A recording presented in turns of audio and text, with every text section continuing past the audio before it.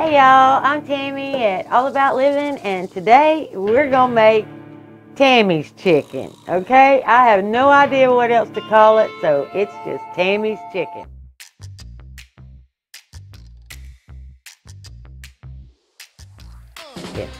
When the kids were little, you know, we didn't have a whole lot of money, and whatever was in the fridge is what was in the fridge, and that's what was for dinner. And they loved chicken legs, and when they were growing up in the you know late 80s and 90s, chicken legs were 20 cents a pound on sale. You know, you could pick them up even 30 cent, not on sale. So that's what we would do. So this is one of those meals that just stuck. And so I'm going to show it to you today. It's just Tammy's chicken. All right, what you're going to need, obviously, is some chicken legs. As many as you need. You're going to need some salt, some pepper, some thyme, some basil, some parsley, some olive oil, some chicken broth or water. Either one will be perfectly fine. Some tomatoes, or tomato sauce. It's just tomato sauce. Garlic, a couple of tablespoons of flour, an onion, and some carrots. That's it. All right. Normally, this would be a one pot meal, and you absolutely can. You just have to do your veggies first instead of. But I'm in a hurry, and so we're going to do it in two pots so I can get my chicken cooking. Okay, y'all know me. I got to have my flame and my pan hot. This is going to be a medium flame. And my pot's to get hot. Okay, while that pan's getting hot, we are also to have some biscuits. The reason for that is I had a subscriber ask me, had I ever used a Dutch oven on top of the stove to cook something that should go in the oven? And I really haven't. I have on an open fire, I've done that and it works out beautifully. But I've never really tried it on top of the stove, so we're going to give it a shot. Okay, pot's hot. We're going to put probably about five tablespoons of olive oil in there. And then I'm just going to bring my chicken right over to the stove. And I'm going to cut this chicken straight across down to the bone on both sides.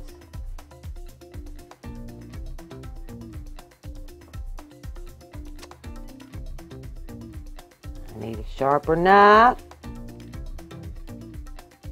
Alright, but that's what we're looking for. We're just going to cut it so that it cooks faster. Y'all know I'm all about that fast. Alright, and we're just going to lay them in the oil.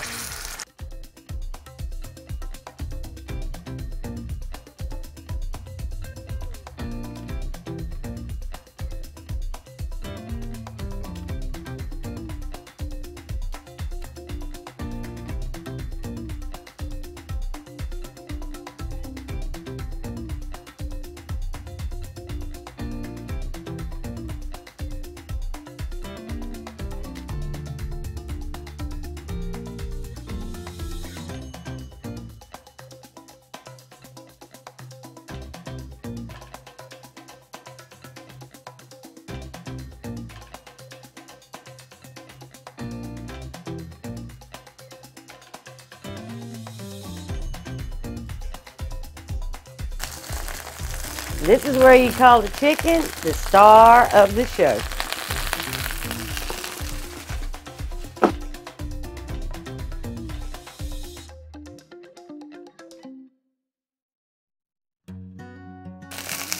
Okay, now I'm just going to start adding spices. I'm going to put my salt.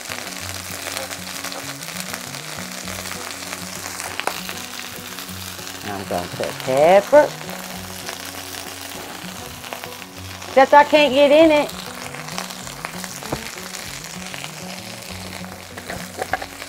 Got it.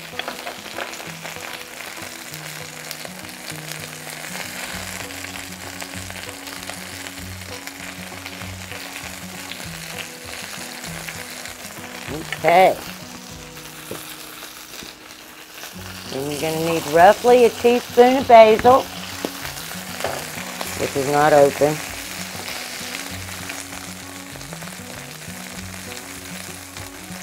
That's probably a good teaspoon.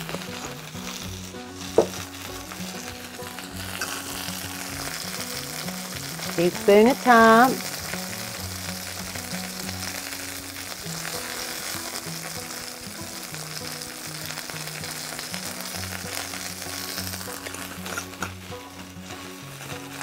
That's it for now.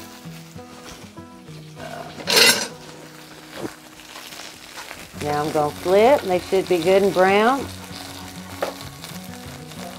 Yep.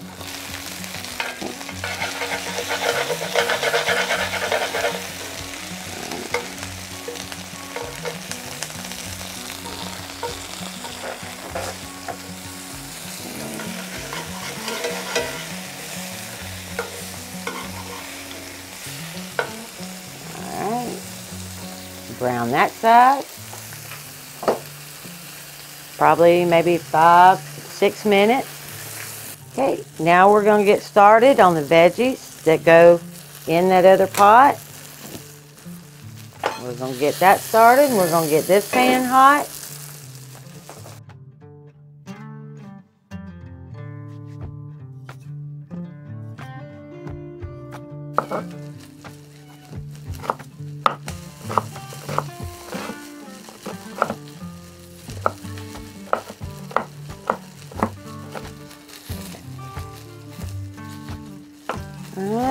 Check on that pan. Not quite ready. So I guess I'll go ahead and start on the carrots. But I am going to saute those onions first. Okay, we're going to right down the middle. And then we're going to go right down the middle again.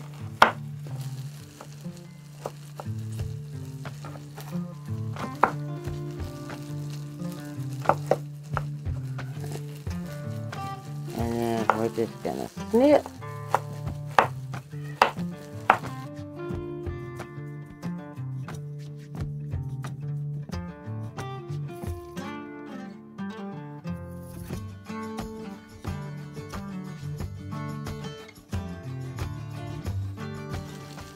Okay, same drill. I'm gonna add a little bit of olive oil, but I'm not gonna put nearly as much as I did over there. Probably about two tablespoons. Going to put my onions so I got room to cut that other carrot. Sizzle, hear that? Yep, my pan was ready. Alright, now we'll finish cutting up that other carrot.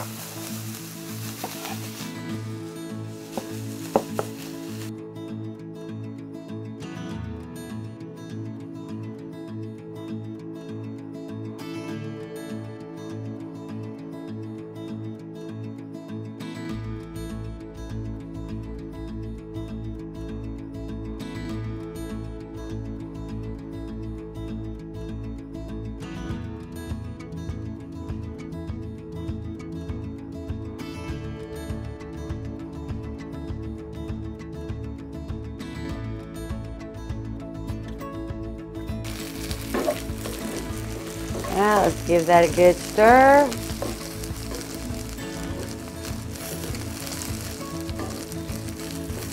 Just let them saute. And I'm gonna flip, flip my chicken again.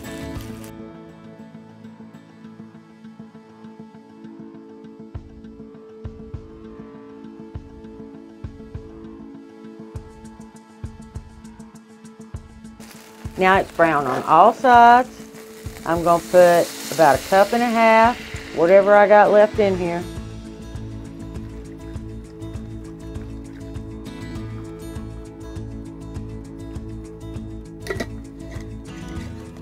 And I'm to get a lid on it. And I don't have, I mean, the lid that normally fits this pan, I'm to have to use to try to make those biscuits. So this one will have to do.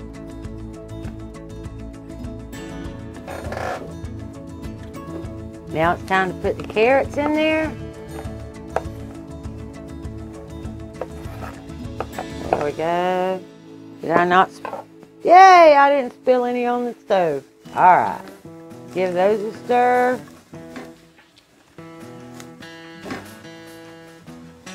Just let them sit there and cook for a few more minutes.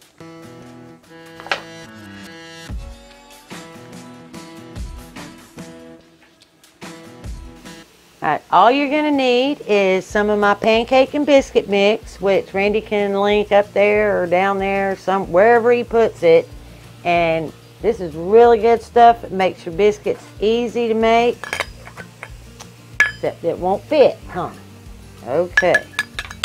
Well, I'm going to need two cups, and this is a half. So that's four of these.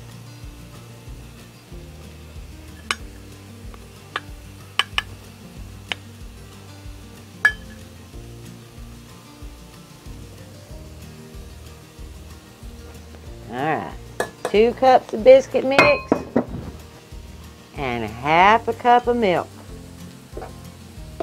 And I'm out of milk, so I had to make me some. That's why it's in a quart jar. Gonna give that a mix. And I'm gonna need just a little more milk.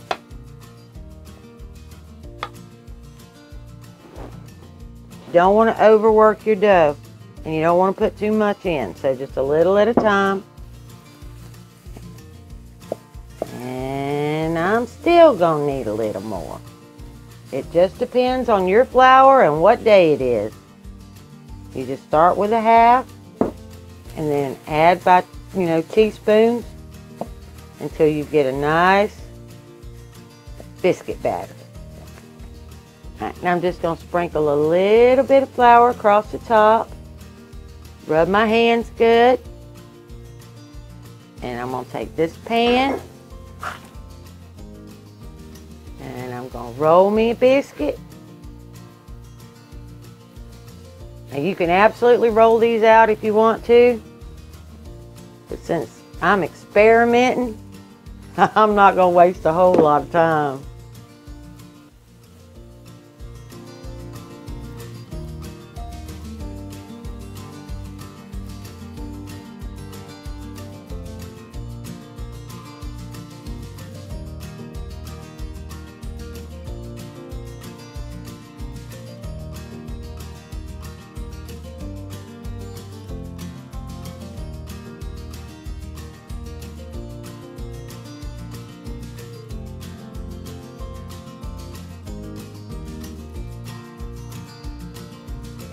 Looks like I'm gonna get five little biscuits.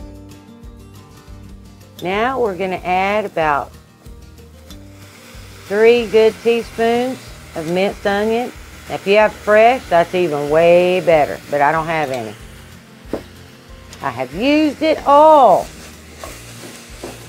Let that get good and fragrant.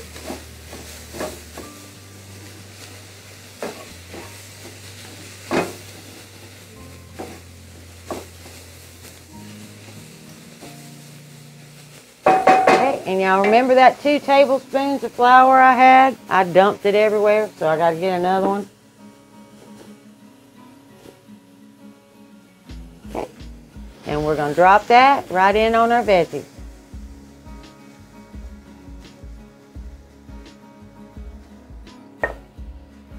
Give that a good stir and get it all incorporated.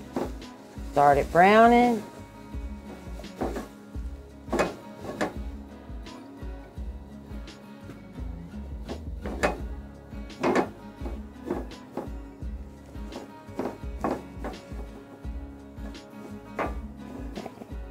And just keep moving it around until you don't see any like sitting on those carrots or anything. You want it all incorporated and a little bit brown.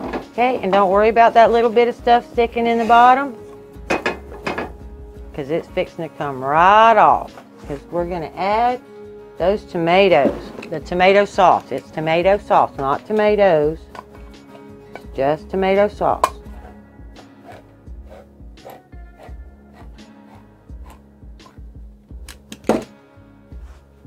Get that all in there. Hear that sizzle. It's deglazing that pan as we speak.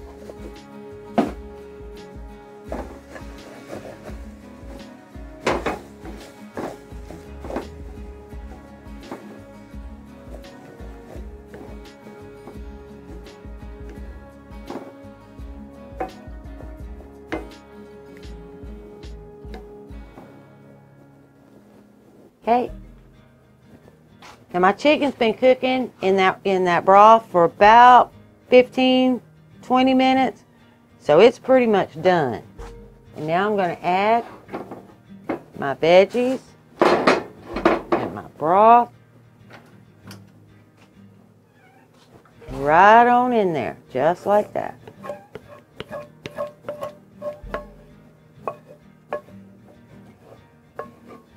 Now we're going to give that a good mix without spilling.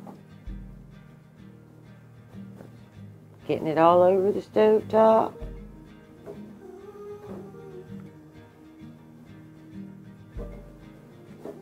Okay, and you'll want to just let that melt for a little while, you know, another 10, 15 minutes, just to make absolutely sure that those chicken legs are done. I'm going to put the lid back on now. And we're going to work on those biscuits. Okay, this is the biggest Dutch oven I have, so this is going to have to be the one that works. I have a round trivet in here, and I've set that down. And I'm going to put my biscuits on top of that trivet. And I'm going to pour my flour out everywhere. And I'm going to put this lid on. I'm going to put this eye probably on low and then I'll check it in a little bit and see how it's doing in there.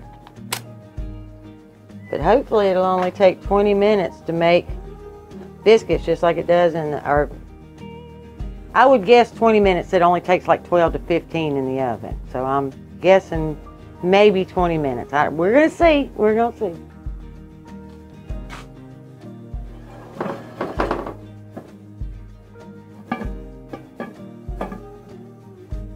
And that's as closed as I can get it. And we'll see. Wish me luck. I really want a biscuit.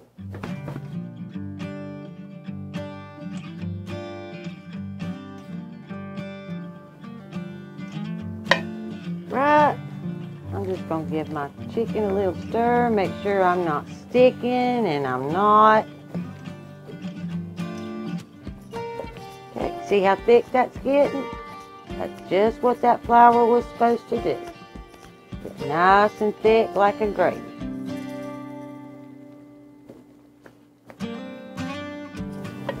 Okay, my 20 minute timer just went off. So this is the moment of truth. I've, reset my timer for another 10 minutes and we'll check them again. Okay, I just added another 10 minutes and I turn the flame up at the last 10 minutes. We'll see, okay? Jury is still out. I am still trying to make these biscuits, okay? All right, another 10 minutes. Let's see what we got. They still don't look done. See, they're bouncing back. So they may be done. What I'm going to do is I'm going to go ahead and put them out on a plate. And if they're brown on the other side, then I'll flip them.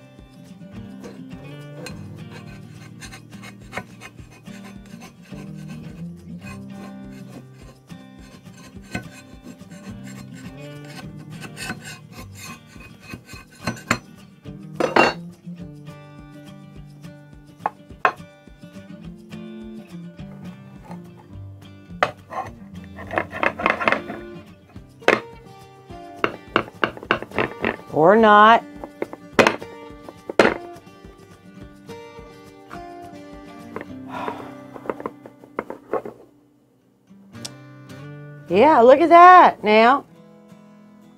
It is nice and brown. It absolutely is. So we're going to call this good. So now I guess I'll just get the rest out of the pan. Which are kind of sticking, which I don't understand why they would be sticking. Because y'all know I use lard and I put, I shouldn't have to put anything in that pan. There we go. They're coming.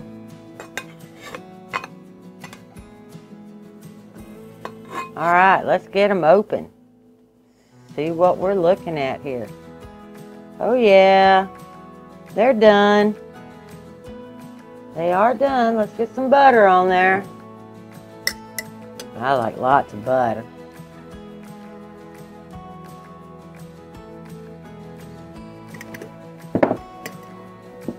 Let's see if I can give it a taste test. Because it did brown up nice on the bottom. It just you know, it's not going to brown on the top. I mean, that's not possible, but let's see. Okay, y'all, these biscuits are fine. Uh, they're good. Randy ate the other half of that, or that. It was one bite biscuit, is what, you know, and he said they're very, very good. I thought they were good. So it does work. I think next time I will try it again. I will absolutely try it again because I would love to learn how to bake on top of my oven because I don't have an oven. So cooking on top of the stove, oven style, would be great for me. So I will try it again. I didn't have it up high enough. I thought, you know, because I cooked my biscuits in my frying pan on real low, I thought I would need to do that with the Dutch oven and I didn't want to burn my Dutch oven up. But it didn't. The bottom looks fine. It didn't hurt my Dutch oven. The biscuits came out fine. Just 40 minutes is a little long to wait for a biscuit. So next time I will up the heat and just kind of watch it more careful. And then I'll do a video again after I've learned how to do it.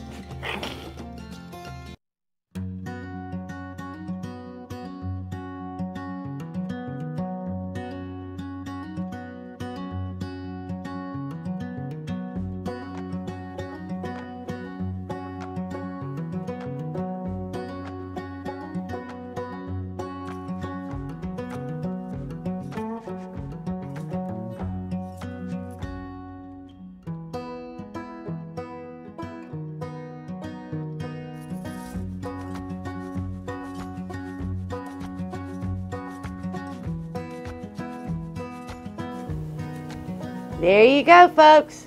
Really inexpensive, not hard to do. Kids will love it because it's chicken legs, winter, winter chicken dinner. Like, subscribe, share, give us a thanks. Bye. See you next time.